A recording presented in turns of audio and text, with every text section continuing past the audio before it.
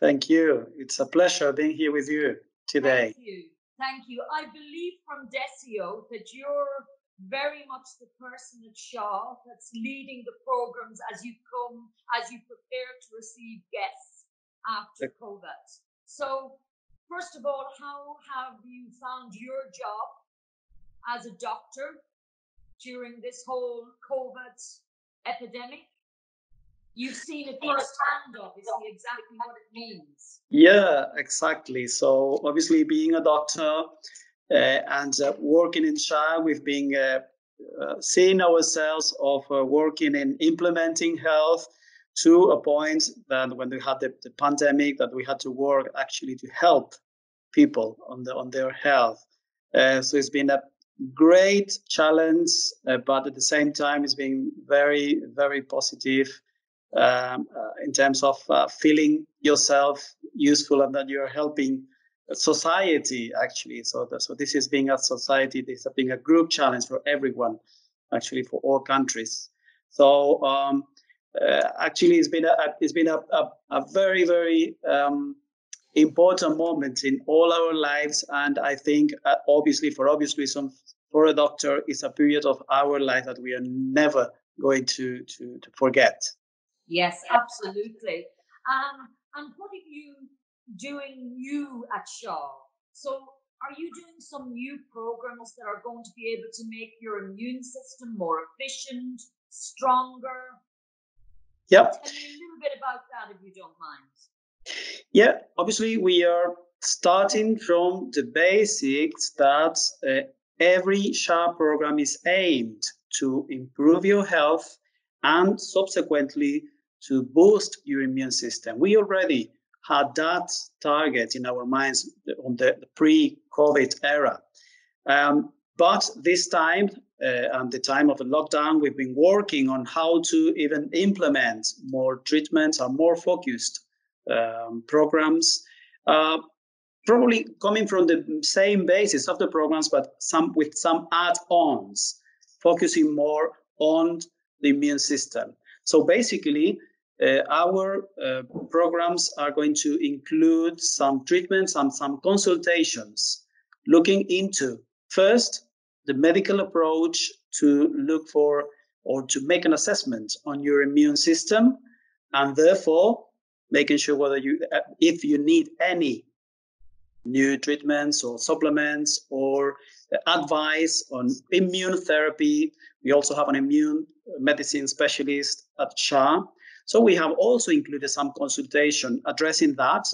And secondly, uh, achieving a best possible health status. We know that there are many things that can influence your immunity. And when we talk about COVID 19, we mainly have to focus on the innate immunity. So there are some proven treatments and uh, some other habits related to this type of immunity. So those are the ones we are looking into, mainly including diet, so specific dietary interventions, also specific supplements, but also uh, addressing stress and using specific techniques to address stress.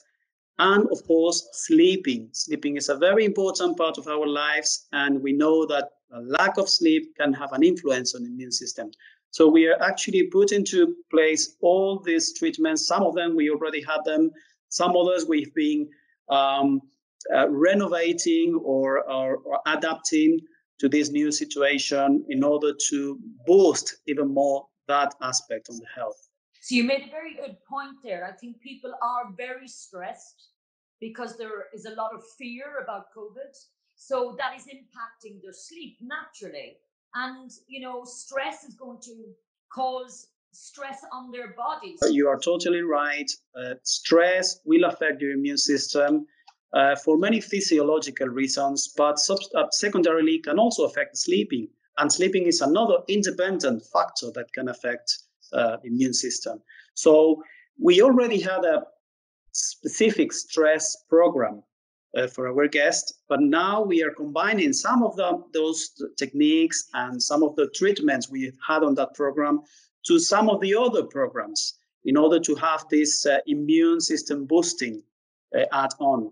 So as you say, mindfulness is one of the one of the, the, the top uh, techniques for that. But uh, there are some others like pranayama that I particularly like because we can work on the parasympathetic nervous system, and that will have some physiological influence on the immune system too. Because the adrenal glands, everything gets very stressed when you are yourself stressed. So it's a, a vicious circle. It's really so bad for stress. Um, now, you're fortunate at SHA because you've got the private residences. So you have the ability to isolate in many respects when you go to SHA. How will you work programs from there?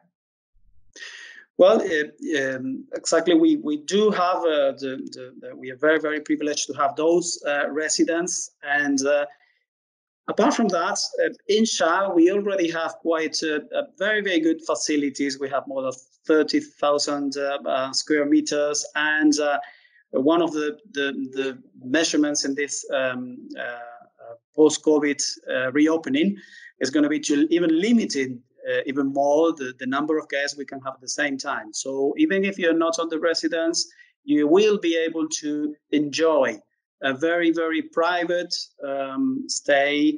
Uh, you will be keeping your social distance with no problems at all. But uh, for people who want to even enhance that uh, social distances, we, we have the, the SHA residence when you have a much higher number of space for yourself. You also enjoy having your own garden, your own kitchen and living room. It's like being in your own home with the advantage that you can have some treatments, some consultations on your residence. So you don't even need to go out of the residence. And uh, obviously, we are also within SHA facilities. So you're enjoying all the facilities at SHA with this uh, added privacy and space for yourself. So you still, of course, you do the ozone therapy. So you've got great techniques there already at SHA. We do. We have a revitalizing medicine unit in which we use ozone therapy, but also IV drips, which are individualized for the needs of each person. Apart from that, on these immune system boost uh, packs, we are also including some medical tests to see whether you specifically need some of a, particular IV drips. And uh, it's one of the one of the uh, departments that is going to be really really busy in these times. Yeah, I can imagine. Now, is there any treatments that are completely off limits for the moment? Is there anything at SHA that you say, you know what, we don't think it's appropriate to have this treatment at the moment? Well, uh, not really. We have uh, had in this uh, time, we've been reviewing all our protocols and making sure they are that the treatments are completely safe from for our guests and also for our staff. So that's why we are testing our guests uh, when uh, at their their arrival, but we are also testing our staff. We are also implementing um, uh, standard PPEs, so protective uh, equipments, depending on the contact you have with the therapist. So uh, for some treatments, they're gonna they're gonna have just a mask, and some others they're gonna have a, a, a PPE to give you the treatment. So um, it's gonna be the protection and um, um, um, and safety is gonna be all the time there without missing any of the experience of being at SHA.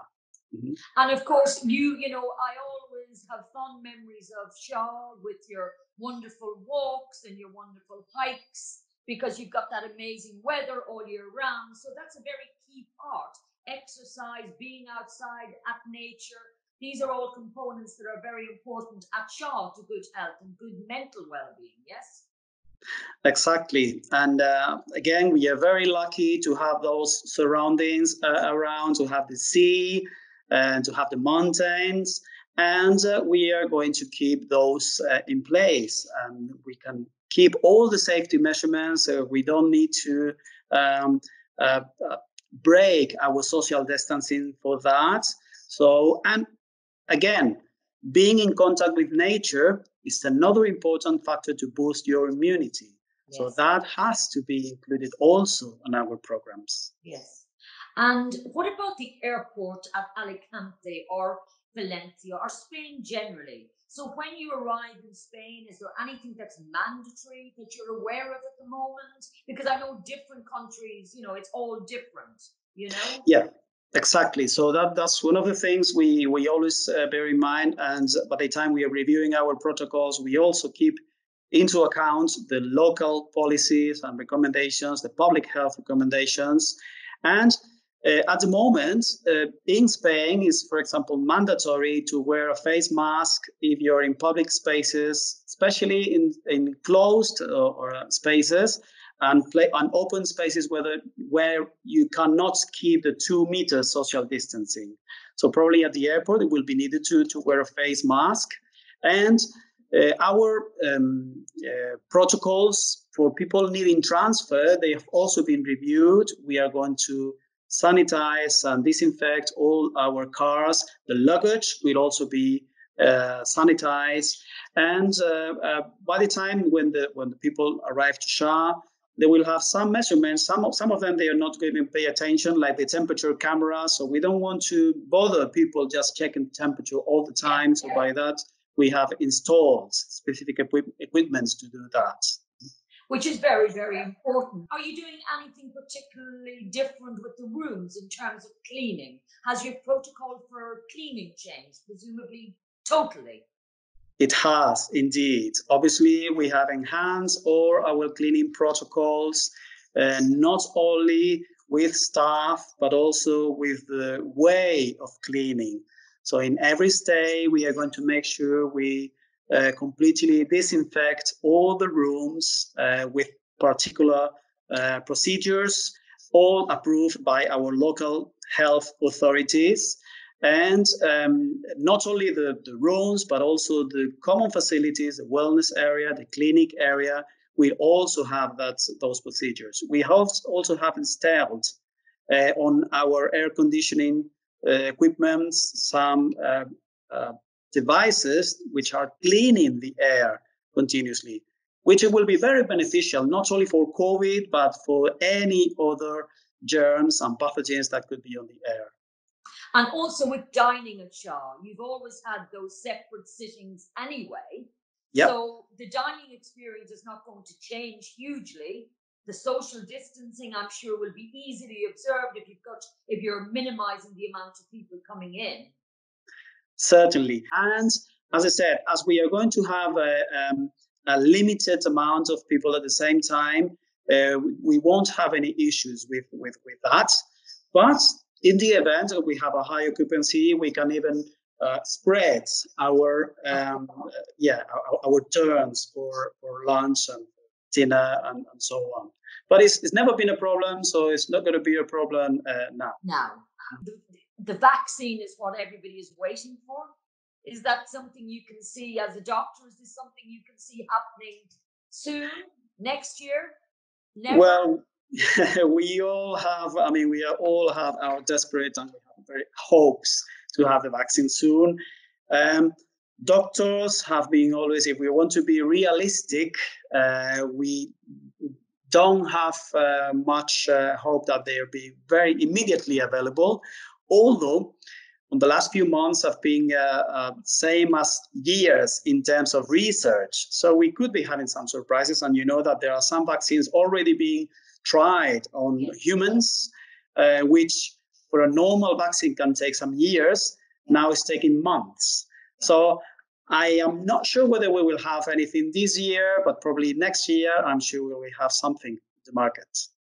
And what finally, Dr. Carlos, would you suggest people should do at home to help protect themselves? In the positive um, aspect of this, I think we are going to have a self-conscious of health now more than ever.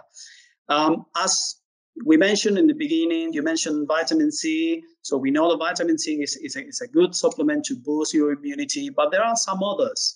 Um, I would definitely recommend an antioxidant diet. So a diet rich in antioxidants. We know that if you suffer the COVID-19 infection, you have a, a depletion of all your antioxidants reserve storage. So you need to be prepared for that. But there are some other things like vitamin D, for example. Yes. Uh, we know that low vitamin D can be associated to a, to a, a lower immune system. And now with the lockdown, uh, we can find more and more people being deficient on, on vitamin D. So that is something that we you should also address. Having a good sleep, uh, it's very, very important. We know that less than six, seven hours sleep will have an impact on your immune system. So make sure you have a good sleep and try to keep yourself uh, fit. Uh, we know that exercise, which is another important part of the of SHARP programs, will boost the immune system. Uh, particularly muscular exercise, aerobic exercise will have a, a, a very very good impact on your on your uh, immune system. And a very good Mediterranean diet. Exactly. Lots of uh, vegetables and fish and pulses and nuts, everything that SHA delivers. Exactly. Um, we know that, and, and the World Health Organization, uh, uh, it's always recommending a diet mainly based on vegetables uh, fruits, uh, fish as a main source of animal protein.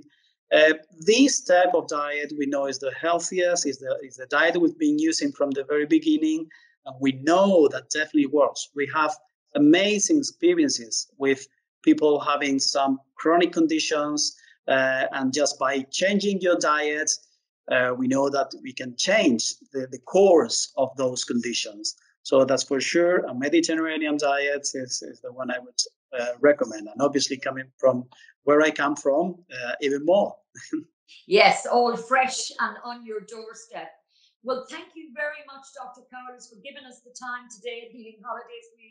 I really appreciate it. I know how busy you are because you're working your normal job um, so thank you very much, and we look forward to sending our guests to you soon. Thank you. Thank you very much.